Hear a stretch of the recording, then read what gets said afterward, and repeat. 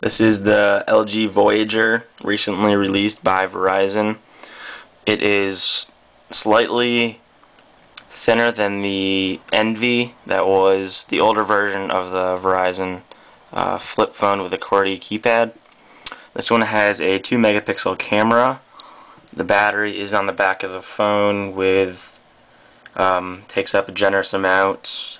You can see by the outline of that squarish and there's also a antenna pullout down here on the bottom for mobile TV. The phone is OTA capable. There is some uh, buttons on the left side of the phone, which is right where the hinges are.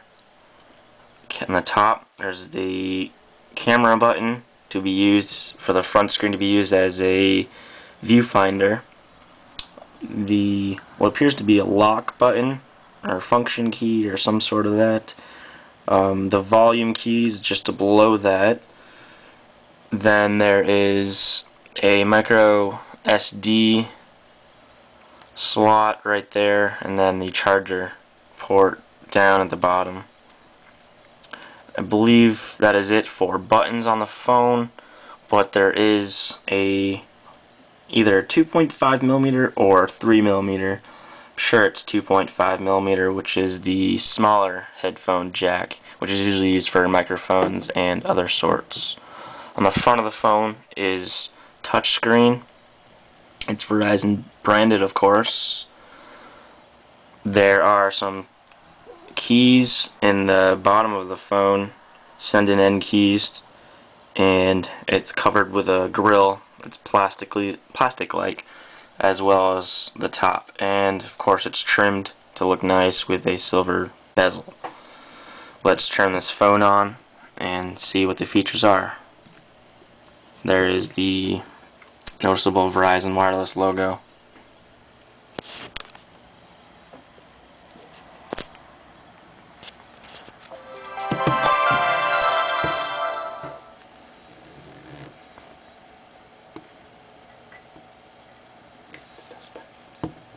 To unlock the phone, you will use the outside screen. You need to touch it to unlock. It is touch sensitive and touch um, responsive, so sometimes it needs to be calibrated, and of course it always has problems. And on this, for the inside of the phone, the usual QWERTY keypad, you can see it's quite large the inside has plenty of features, buttons, and all kinds of other functions that you can access. The NV is similar to this in design, except the most notable feature is that the screen is improved. The screen is larger diagonally. The speakers on the side of the phone produce really, uh, really good quality sound and to access most of the options you need to open up the screen. But as I said the outside screen is touch sensitive so you can access a lot through that as well. As for the menu it's the usual boring Verizon menu with the standard layout. Of course it has been upgraded slightly with their new generation of phones but it's still Verizon and it's still not that great. You can't really customize it that much and it's still got the red, boring red colors. To some it may be appealing but to most it's just the boring Verizon menu.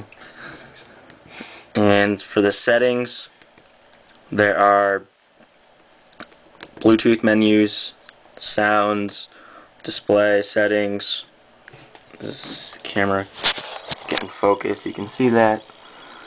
Okay, there's phone settings, call settings, touch to be calibrated the outside screen and stuff. Um, there's a memory card option so you can put music and stuff on there of course. Phone info. Let's go to software and hardware version just in case any of you are interested. It's 1.2 Bluetooth which has been crippled by Verizon it does not support a lot of Bluetooth profiles as in Bluetooth 2.0.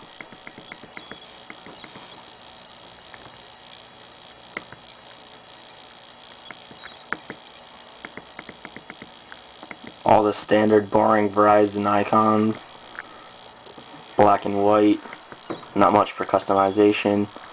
This phone does support EVDO. it also supports mobile TV as I was mentioning previously and I will now show you the pull-out antenna I was talking about. And this can be used for mobile TV on the outside of the phone as well as opening the phone which I feel is a lot more comfortable and appealing. It has a nice look to it, like a mini laptop almost. Has a really nice form factor once it's opened. But to call to make calls you have to close the phone and use this as a candy bar phone. The uh, speakers on the top to make calls for that function. Also, I will now show you the camera mode as I was talking about, but apparently you need to unlock it whenever you do that. Okay.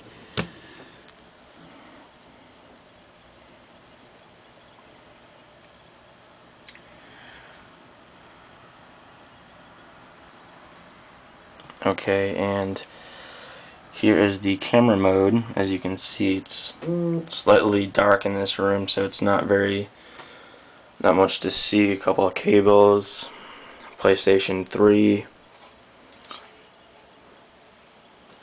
And there's also a lot of on-screen options with this as well. You can touch the screen for that. And then it gives you a whole variety of options you can zoom in with the volume keys.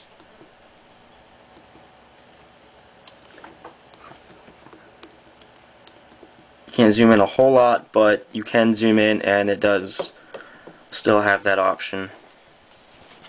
Overall, this phone is pretty nice, except that it's still got the old plain boring menu from Verizon. Does have a lot of upgraded features from the Envy it still is a nice phone, um, even though it's still been crippled by Verizon as they normally do.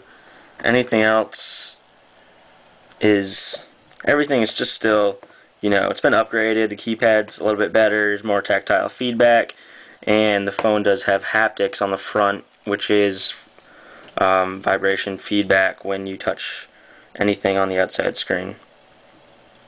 But for some users, the outside screen is giving problems, such as now. Outside menu is basically just the inside, just shown a little bit differently. And that is the LG Voyager. Thanks for watching.